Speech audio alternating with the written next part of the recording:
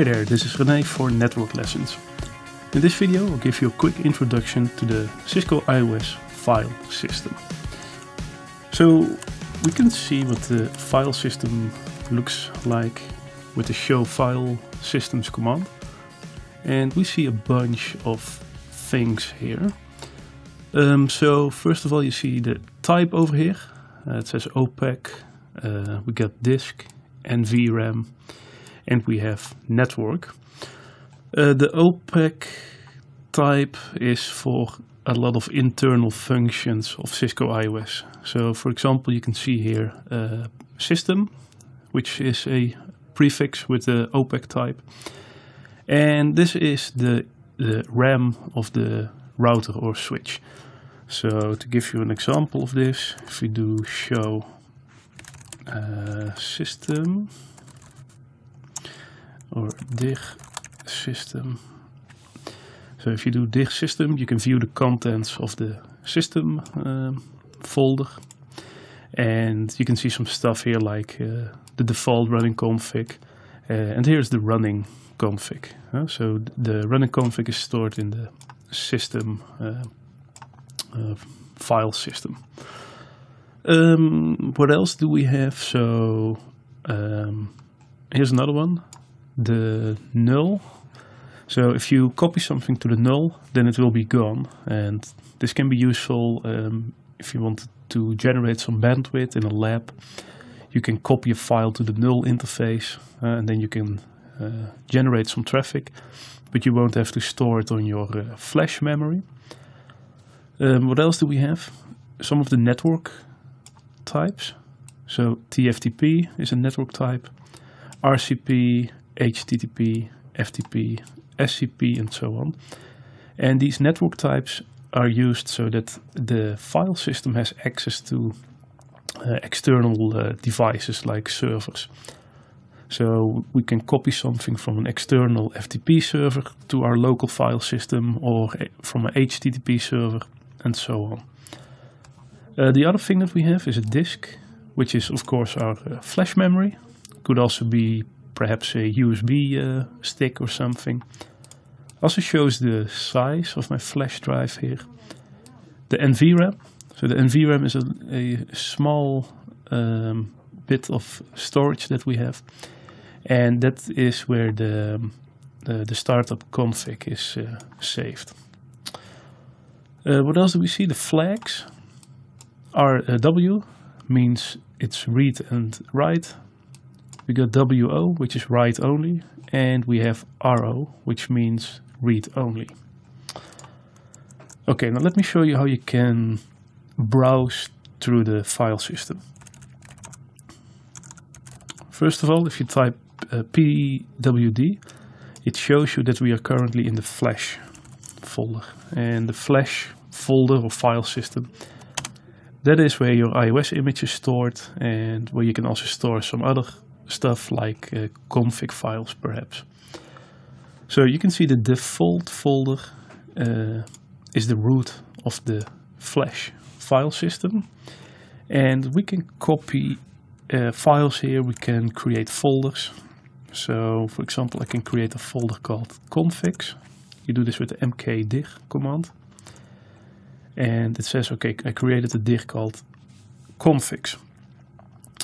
Uh, if you want to enter this folder, you can do it like this, cd configs, and it tells me that I'm now in the configs folder.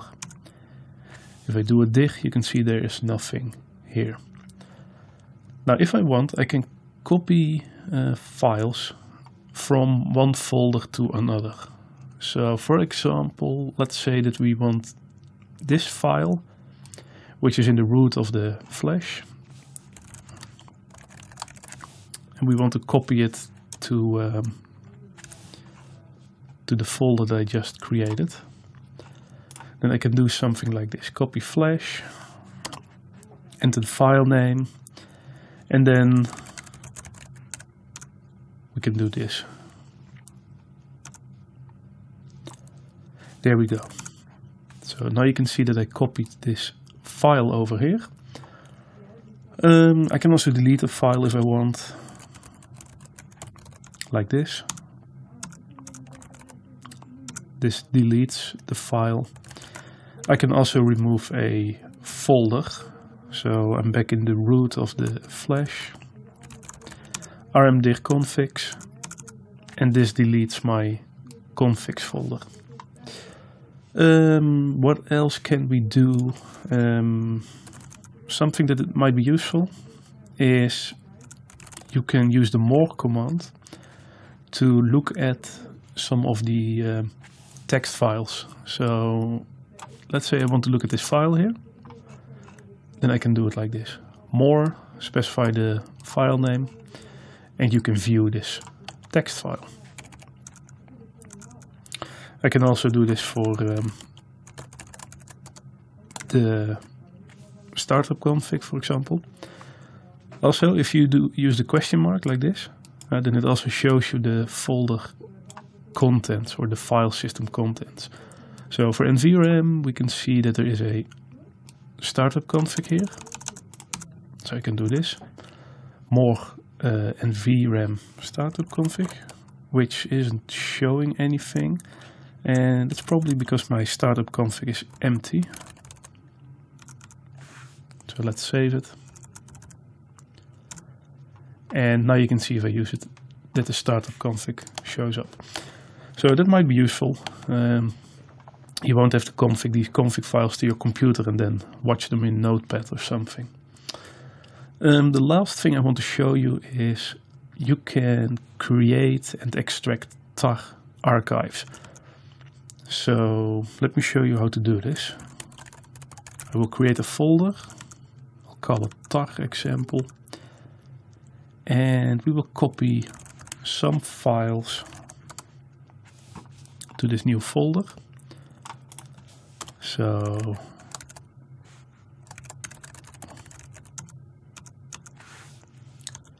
that's one file. Let's copy another one.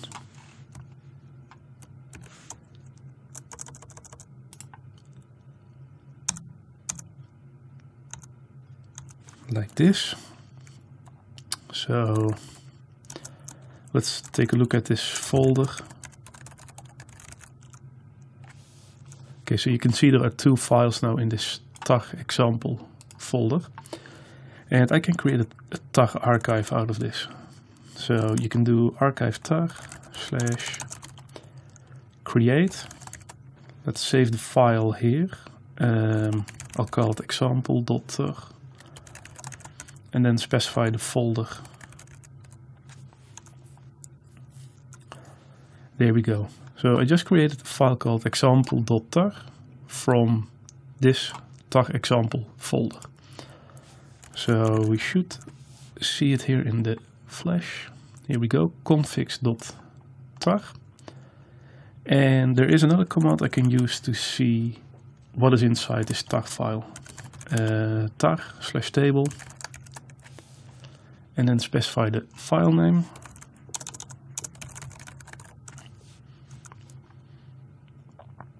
Um, flash. Mm, so what am I missing here? Mm, that is interesting. So we got this file, but it says that it is zero bytes. Uh, but it does tell me that there is something in here. Oh wait, I'm making a mistake here. Uh, it shouldn't be the configs.tar file, example.tar. No, that's the file I created. Um, so example.tar. There we go. So you can see the example.tar file has these two files. Um, okay, I can also extract these, of course. So let's create a folder, folder I call it tar2 and I can say archive tar extract without the e specify the file so example tar and I want to extract it to the tar2 folder so it says extracting